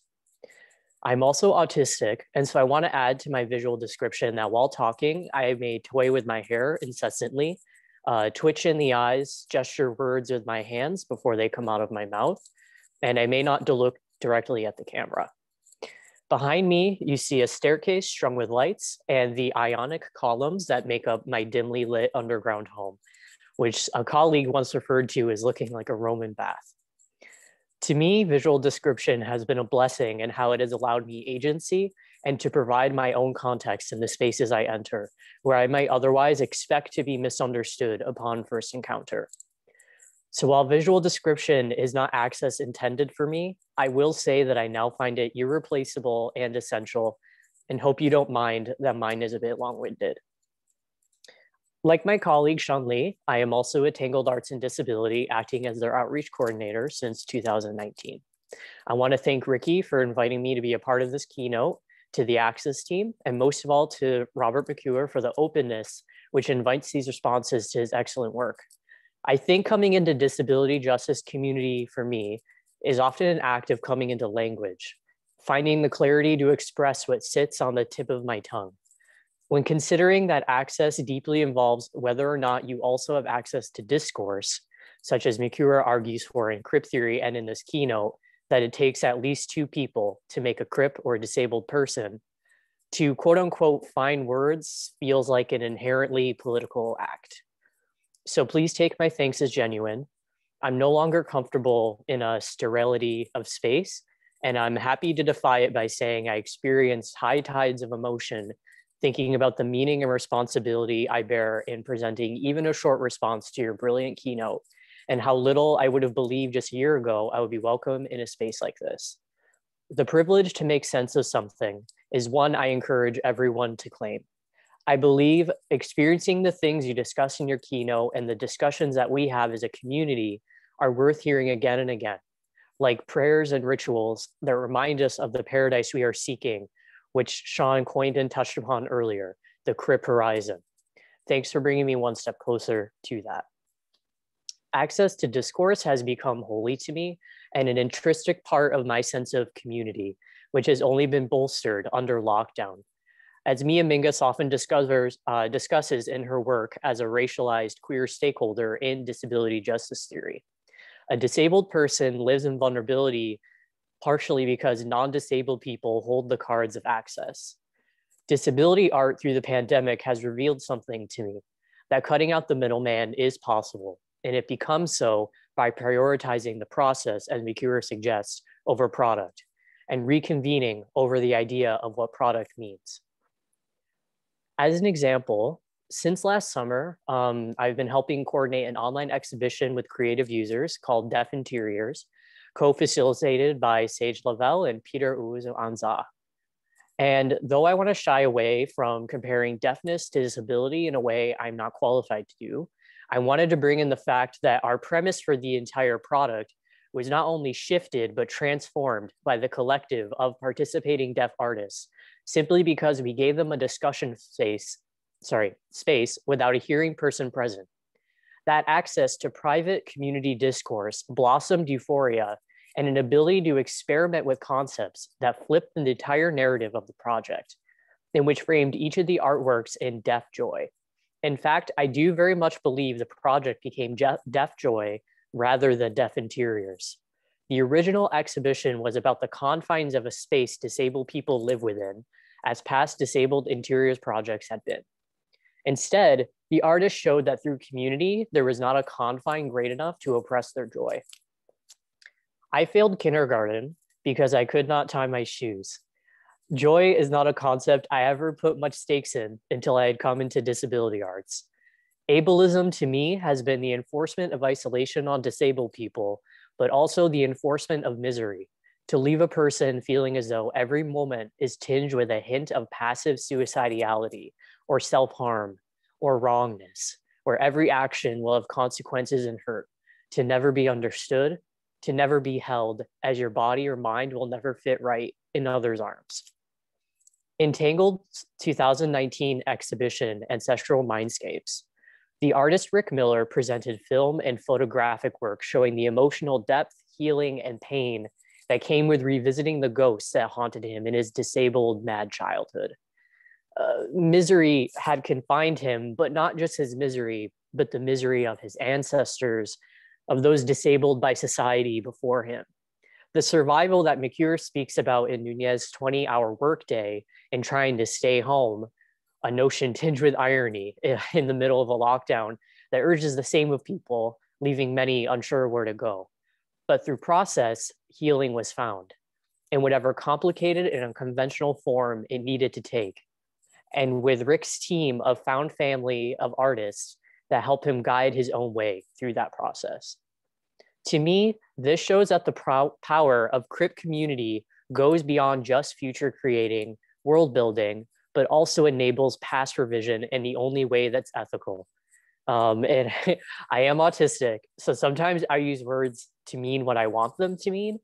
So, what I mean to say is for all the scholars and idealized history of revered Western cultures and figures in the ideologies that would later expand to imperialism and exploitation of anything deemed not suitable enough to be white. Well, the smartest white men still came from knowledge pools that threw the disabled, their deviant, off of cliffs, only their tragedies beholden to history. Like the queer and the racialized, too many of our histories lie on the bottom of lakes. We are like fossils being rediscovered as though our bodies do not currently live upon land in that way, and as McRuer discusses when touching on uh, various ways global austerity politics thrive in lockdown, I see COVID 19 as one symptom among others, which includes oil spills, unbreathable air, poisoned water. These are all symptoms of suffering, environmental racism, and climate crisis. After all, in the words of Indigenous director and playwright Tara Moses, colonialism is a structure, not an event uh, a structure inseparable from our bodies. The stillness and disability arts that McRuer mentions, to me, this feels like a necessary pause to consider next steps. In Natalie Diaz's book, Post-Colonial Love Poem, she writes, in Mojave thinking, body and land are the same. The words are separated only by letters. Imat for body and amat for land. In conversation, we often use a shortened form for each, uh, mat, just by itself. Unless you know the context of a conversation, you might not know if we are speaking about our body or our land. You might not know which has been injured, which is remembering, which is alive, which was dreamed, which needs care, and which has vanished. Again, to me, COVID 19 is distinctly a symptom of an illness deep set in our earth called colonialism. And disability, as McRuer suggests, will continue to expand and transform due to this. But it's also this that makes me feel comfortable li living within disability justice as someone historically displaced by colonialism. Though there is work to do and white supremacy to dismantle, even within the ideology of what disability is, to me, the very concept of Crip Times sees it all as moving parts of a larger responsibility to one another in our world that we are each other's harvest and to curate a livable world, one that does not depend on product or function, but experience joy and flourishing. And mm. in the blur of what next steps could entail, in thinking of examples such as how the NHS in the UK has used the pandemic as a distraction to run trans healthcare dry enough to exile their trans citizens, um, to prevent people an opportunity to live. I think of how Cooper Lee Bombardier writes in Pass with Care as a part of a literary narrative written in eight folds to represent the trans body's path. This trans body trains the doctor to see it as a patient and its needs as deserving of care, much in the same way wolves trained humans to see them as dogs. I read this through a disability lens as well and consider how disability arts during lockdown has proposed a revision of performance and that every day that I exist in an ableist world, I am performing a version of myself to survive. The marginalized person under capitalism lives in segmentations. The customer service smile versus the lifeless gaze they share with the ceiling, the pleasant conversation with the doctor who forces you to stand and walk on disabled legs, the sex we have with a lover who doesn't know how to touch our deviant bodies. But performance in lockdown is disconnected. Expectations have changed. To me, there is a pause of consideration allowed by the intention of a screen. And I think this pause can be a creative space. Although not everyone has equal access to this pause, I nonetheless use it to reconsider what I want my drag to be. What disabled body will walk on stage? Instead of using our performance as survival, can we thrive in it as play, as McRuer implies when thinking of Nunez's work? If anything, that's what I've seen in disability arts on lockdown a refusal to not have fun, a refusal to not toy with the structures we unwillingly exist in. And so, you know, when discussing the work of Smokii Sumac, a two spirit poet who focuses on coming home to indigeneity and queer love narratives, the Algonquin feminist scholar Jen Cole writes From Sumac, I am learning and remembering that medicine tears soften this hard and angry world, that we are all necessary by way of our creation that we should visit one another, that the moon looks on us without judgment, that it is always good to make an offering, that falling in and out of love is turbulent and wonderful, and that we can be honest with ourselves and one another. And so, on that note, and to close on something of a tangent, I want to share a few thoughts about a practice of death work, which I had after reading uh, both McRuer's keynote and Sean's response. I consider myself a death worker in the sense that I do not move a muscle without considering death. Death almost comes easy to disabled people.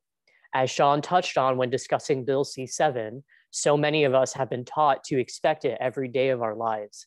We live in a contemporary living process of genocide that is fueled by legislation like C 7. He said all that I would say about quality of life versus quality of death. And so I will use Sean's words um, and the foundation that I wholeheartedly agree with him to move forward to my final point. Um, you know, we grew up knowing there's no one looking out for us but one another. And especially being queer and or racialized disabled people, there's that added notion that there's also no families, no histories, no friends to look after us either. And that's the fundamental idea of why communities around political identity are created.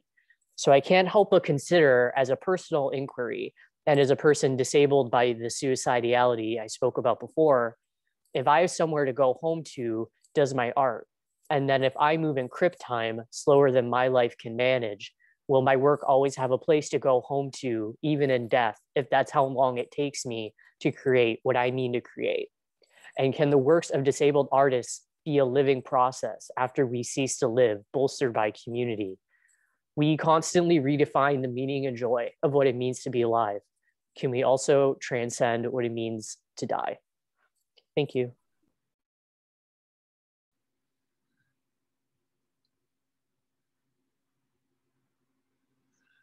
Uh, thanks a lot.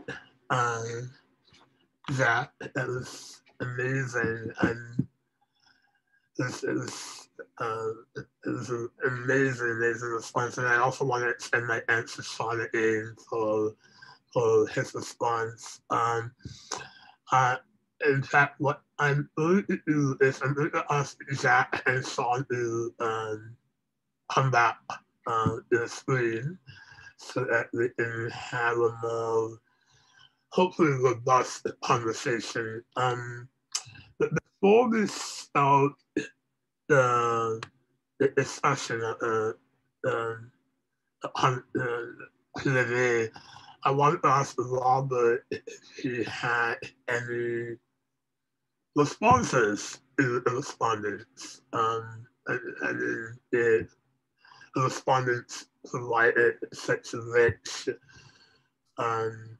remarks, and I'm sure there's a lot that can be responded to that I wanted to kind of hear if you had any thoughts, any initial thoughts before we kind of open up the floor for uh, conversation. Absolutely. Thank you, Ricky. And thank you, Sean and Jack, for those amazing responses. Uh, so rich in so many ways. And I learned a lot and took some notes as you were going. I don't want to respond at length because I want people to be able to join us in, in conversation. But I do really want to first appreciate um, this idea of dwelling in disability in Canada. So, I mean, I'm obviously writing from a position south of you and also writing to the south as I work more on Latin America lately.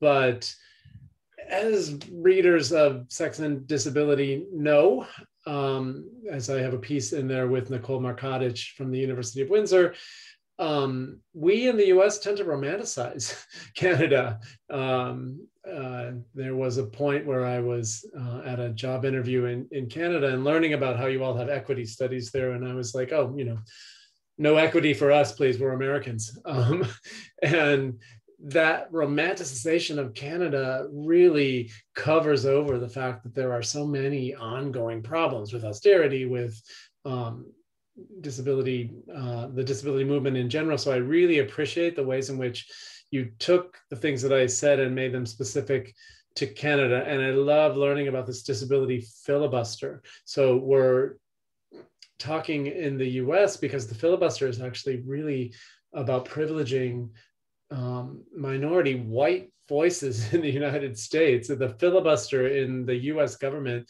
allows uh, for small white states to dominate conversation in government. So the slogan in the US is abolish the filibuster. And I love the ways in which you're kind of turning that on the head in Canada and saying, no, no, no, abolish the filibuster. Just transfer it to other people who actually have things to say and who aren't being heard. So thank you for that really beautifully Canadian uh, extension of the things that I that I was saying.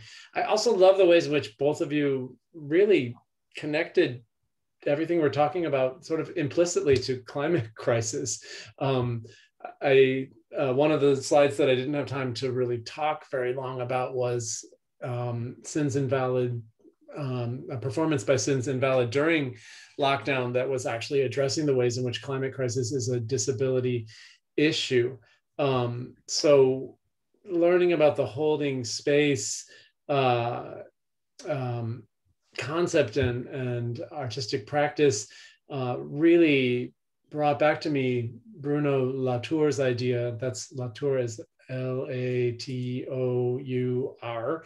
Uh, Bruno Latour's idea of landing somewhere, which he means specifically to, to be decolonial, not landing somewhere to take it, not landing somewhere to appropriate it, but recognizing that we are situated in a location that needs to be something that we understand in a really uh, textured way. And I feel like holding space is doing that too, whether it's explicitly meant to be eco theory, it's also this kind of double statement. Like holding space could be taking space from someone else, but it also seems to be holding space for all of us in a way that is about collective care and about recognizing what that space has meant and and could mean. And so both talks for me kind of had that kind of eco uh, theory, eco activism background to them, which I really appreciated. I love Jack's also idea that visual description wasn't intended for me, but I love it. And I get all these unexpected things out of it. It's a long-standing crip practice of sort of saying that an access,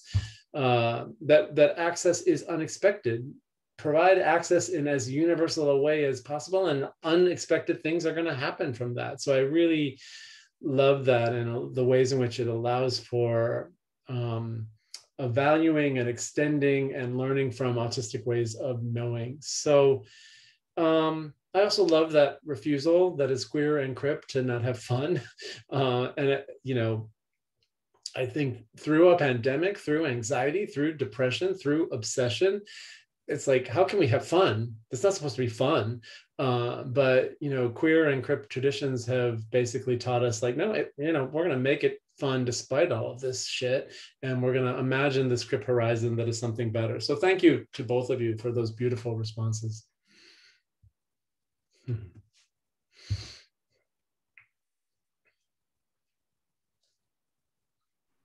Now, Ali um, is going to help with the questions. Um, so, um, yeah. Hi, everybody. I'm Tally. I use they and she, and I work at the School of Disability Studies and Access Support. Um, I'm a queer, white, fat person who uses they, them, and she, her pronouns. Uh, and I would love to direct you to the Q&A um, button that's on your Zoom bar. So um, there are many ways for you to ask questions. Uh, for folks that it's an access barrier to type, you can raise your hand and then I can unmute you so that you can ask your question. You can also do that if you just prefer to ask your question that way. Um, you can use the Q&A function, which you can type your question into and then um, I'll read it out loud to the panelists. You can also enter your question or your discussion point into the chat and I'll make note of it and read it there.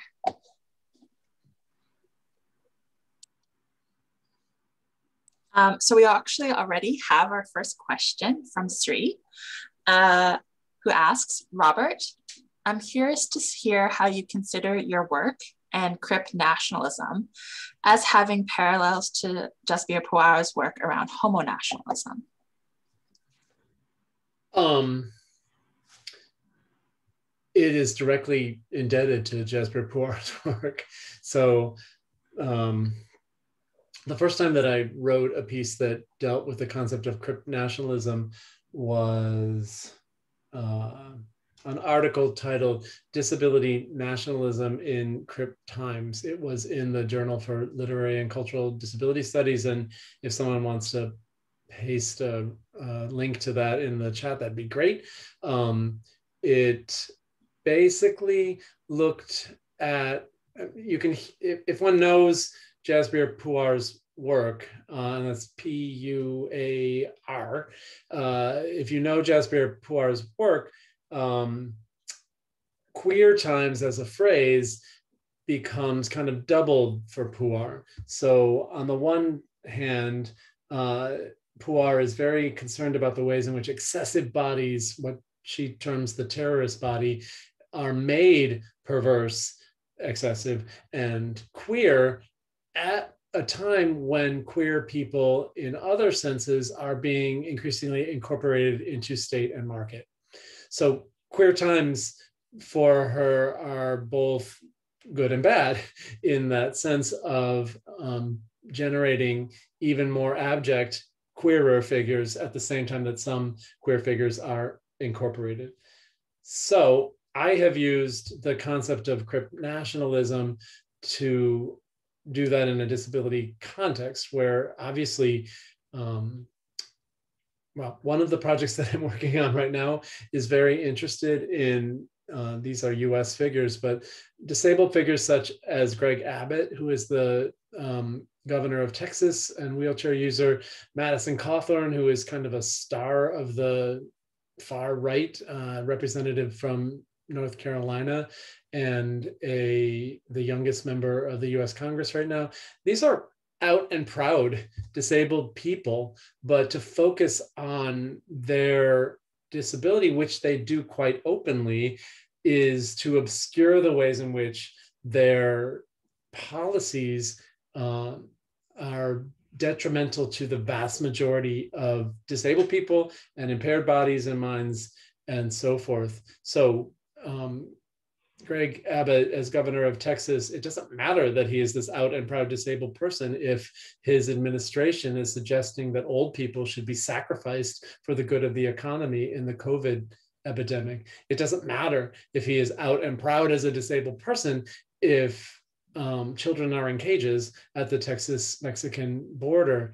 So Crip nationalism kind of gets at the ways in which certain disabled figures can be incorporated and celebrated at the expense of of others. So in Sex and Disability, I, I wrote about that from a very personal story about potentially moving to Canada when um, the my partner at the time was actually blocked from potentially entering because he had multiple sclerosis. And it was at the time uh, a possibility that he would be an excess burden. I forget what the Canadian language was to Canadian Health and Social Services, and potentially denied, um, you know, the treatment that he needs to live as a person with multiple sclerosis. And so we didn't go to Canada. We didn't cross the border into that romanticized happy place where supposedly everything is wonderful. Um, and so I wrote about that very personal experience in the context of how Crip nationalism nonetheless celebrates, say, uh, in a film like Murderball, um, uh, disabled athletes crossing borders all the time and and being again sort of out and proud and sexual and uh, all that. Um, so I, I, wanted to use Crip nationalism as a way of getting at the very complicated neoliberal moment that we are in. And I should say, for those of you who have looked at Sex and Disability, that piece on the US Canadian border was co written with uh, Nicole Markotich, which is M A R K O T I C. Okay, I'm gonna uh, let Justin Levesque talk. Uh, can you hear me? Yes, go ahead. Um, hi, everyone. This uh, was uh, really so wonderful. Um, thank you uh, for all of the talks.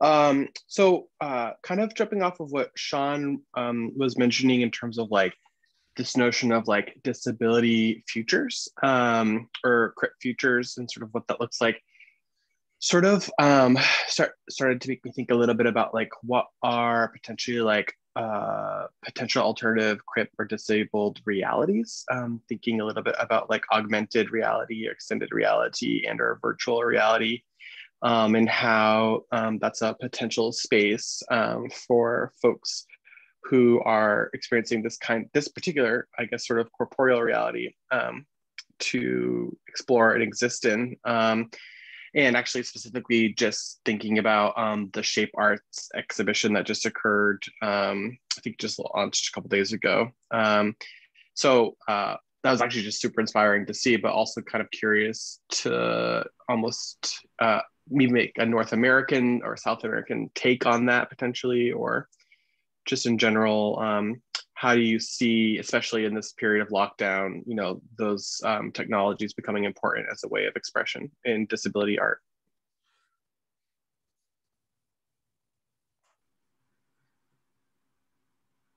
I think, Sean, you are you are being hailed here.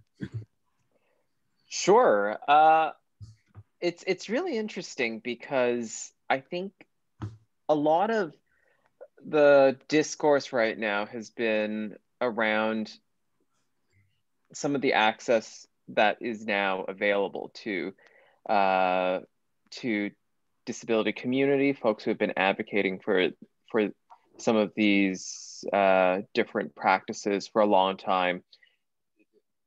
Things like you know working from home, things like virtual meetings are now possible, and I was I was recently in a, a, a conversation with Carmen Papalia and Anita Se Chen, where we talked about the possibilities of, um, you know, the the digital digital space as a gathering site, and Anita brought up a really interesting kind of way that these these uh, virtual gatherings have been co-opted by a neoliberal politic, you know, what, what she calls the quant, the fetish, fetishization of the quant, and uh, really this desire to justify practices through this ability to now reach broader and larger audiences than ever. And so I'm always a little bit hesitant to kind of place digital uh, ways of gathering in these really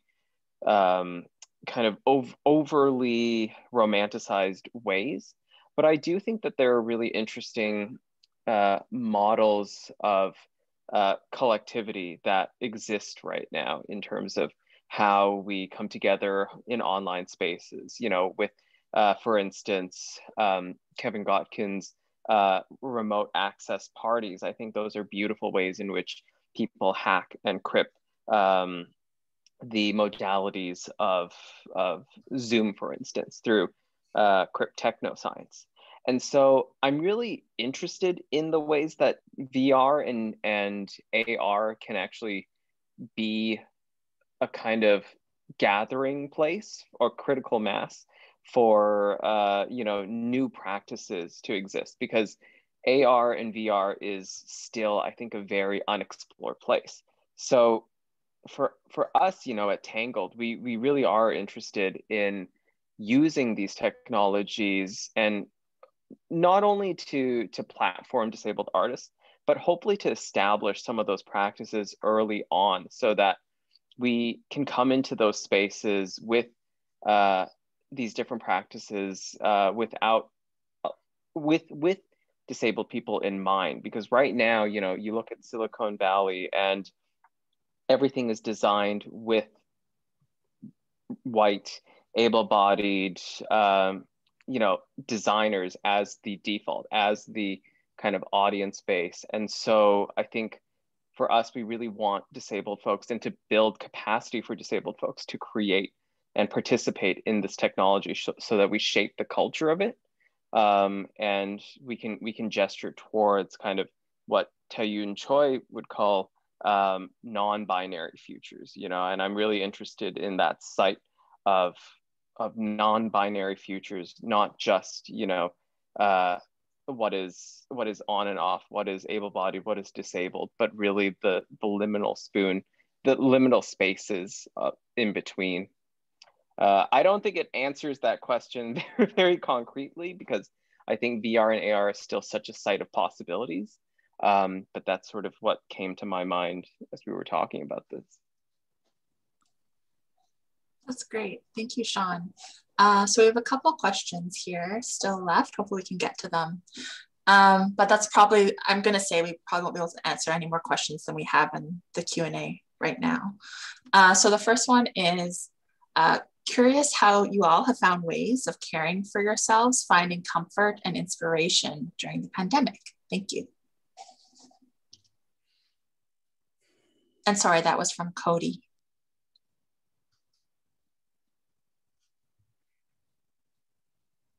It's been hard.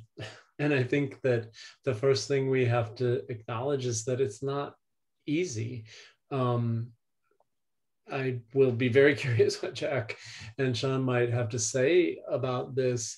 Um, and I think we have been talking about lots of inventive ways that people have tried to care for each other. I think my my own experience, uh, my relationship is transnational, and so I went to Colombia for ten days in um, March of 2020 and ended up being there for six months. And so lockdown was like literally quite an intense lockdown for me. Um, I was fine, but it was lockdown with one person uh, in a much more extensive um, lockdown than what was happening in the US. And I was actually happy for that.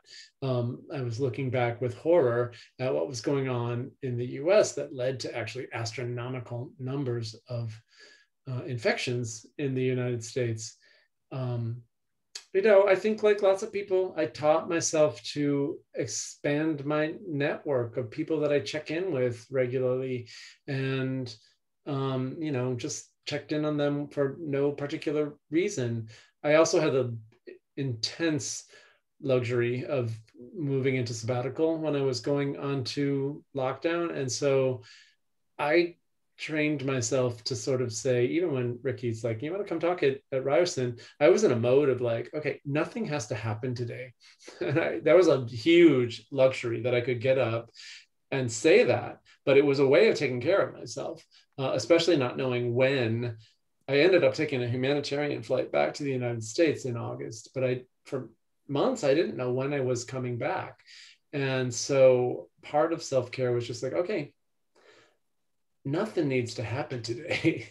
Uh, and I'm glad that I was able to be in that space. But Jack, Sean, what about you? I, for some reason, what came to mind is um, another disabled friend, uh, an artist and curator, recently out of nowhere sent me a package. Um, and I opened it, and inside it was actually um, a sourdough starter. and um, the next day, I, I got this big invitation.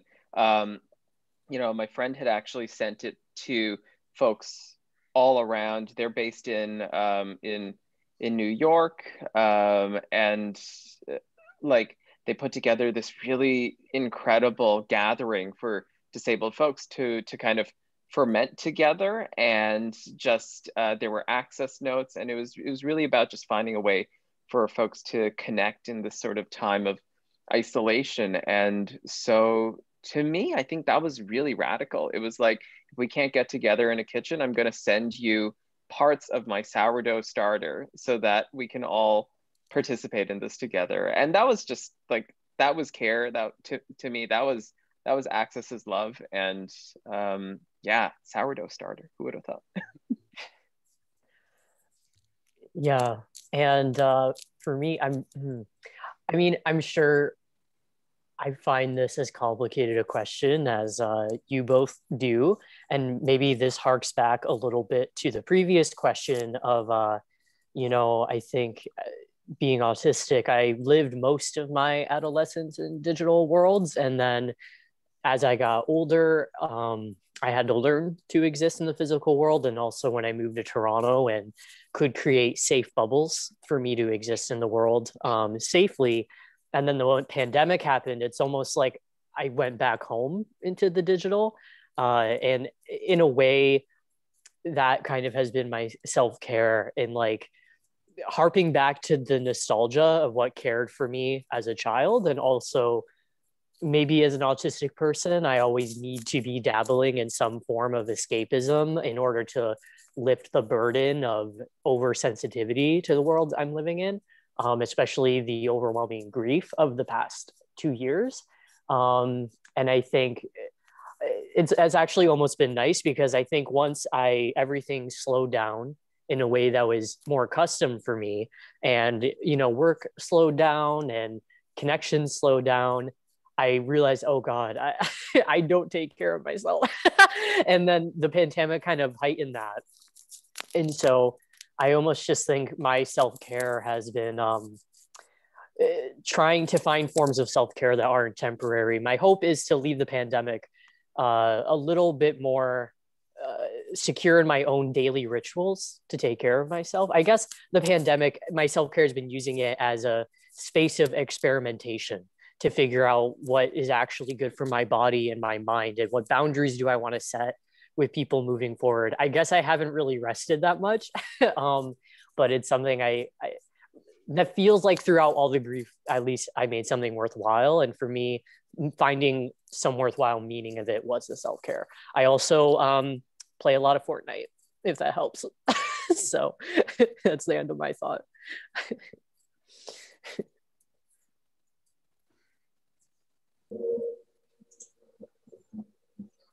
So unfortunately, I don't think we're going to be able to get to the next questions that we have, and they are really wonderful. And um, so thank you for submitting them. Uh, and we, will save this chat for later. Uh, okay, uh, Ricky, I'll hand it back over to you. Um, I just want to thank um, our speakers, especially Robert, Sean, and Jack, uh, for a wonderful, wonderful, wonderful uh, set of uh, conversations. Like it, has been really, really illuminating on so many different levels. Um, and it's also going to be very interesting to kind of think about what what it means to start thinking about what life is going to look like after the so-called lockdown and after the pandemic, especially now that conversations about a vaccine is now vaccines are becoming more and more part of um, everyday life, and so what what kinds of futures we might be able to imagine uh, I, I believe is yet to be um, decided and. Um, so I just want to thank our speakers. I want to thank everyone Ryerson School Disability Studies, uh, uh, I want to thank Angie and DL and Mel for their support. And I also just want to thank everyone who showed up. Um, tonight for this conversation. Um, your chat discussions were as much a part of the evening as the lectures. So thanks a lot and have a nice evening. Bye.